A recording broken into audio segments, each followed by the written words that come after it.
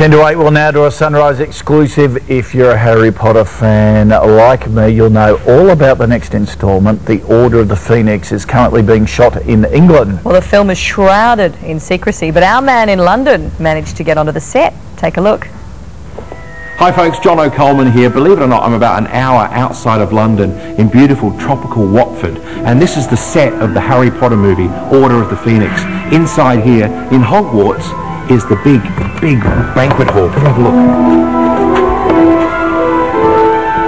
And this is where they film it all. This is a film set. It's incredible. But don't believe me, take a look at this. For each school, a single student is chosen to survive three dangerous tasks. Let's face it, folks, Harry Potter is the smash hit of the decade. Four movies have already topped the box office, now they're making a fifth. And I'm on the set exclusively for you guys at Sunrise. Hello, Mel and Kochie. My my father and me, when we were over there um, last year, we got addicted to Sunrise and watching you. Mate, you've, that you've made their day. Oh, brilliant. When, when it all goes horribly wrong over here, you see, you'll have a... Uh, yeah, exactly. So, hey. You'll have a gig on fine. Sunrise. Yeah, great. it's Daniel Radcliffe, the weatherman. I'd actually the weather thing's the one I'd always wanted. If I had been on, the, I would have liked to do the weather because you can sort of, you know, you don't have to take things quite as seriously. Yeah, like Grant. He Yeah, like that. Grant, Grant who grew his beard. You see. There's so much secrecy surrounding this new film, but when I talked to Emma Watson, she was happy to tell all. Typical. And guess what? Her character, Hermione, is still fighting with Ron. Well, actually, I just shot a, shot a scene where um, I blast him and slam him against the back wall with a spell because he makes a very patronising and sexist comment. But um, apart from that, we're going on very well.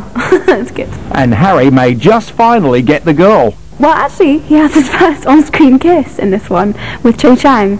So um, he, he's he's on the way. He really is. I just wondered if you. I just wondered if maybe you want to go to the ball with me. I've been um I, I haven't actually had my kiss scene yet. We were going to do it the other day, but as you know, I'm I'm flued up, so I I haven't been. I Katie escaped that one, unfortunately, but I'll get her.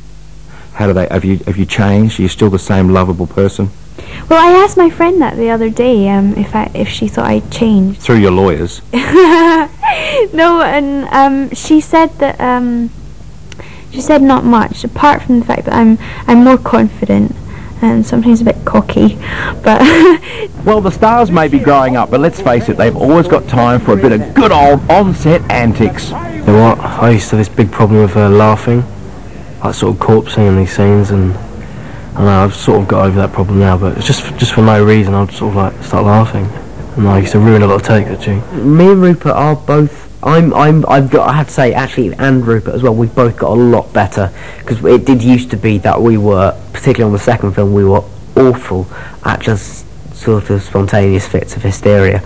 Um, and we the, the awful thing was that we wouldn't be able to say why. So I would say, "Why are you laughing?" We don't know. It's something's funny. um, and but you don't need a reason when you're 12. Is that Hermione Granger? At six o'clock?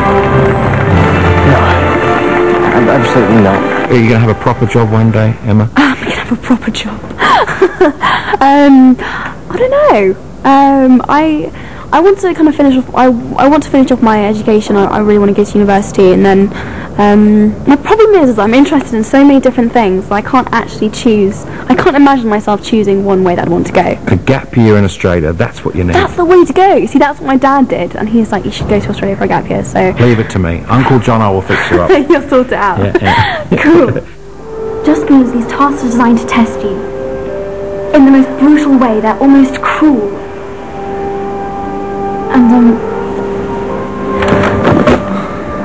I'm scared for you. Have you got a girlfriend yet? Um, no, I don't actually. No, not at the moment. No. So, start writing those letters, girls. It could be good news. I tell you what, the service is pretty terrible here. It was never like this at my school during school lunches. Unbelievable. Anyway, this is Jono Coleman for Sunrise on the set of Harry Potter. See you next time. Thank you, John. wow. That's him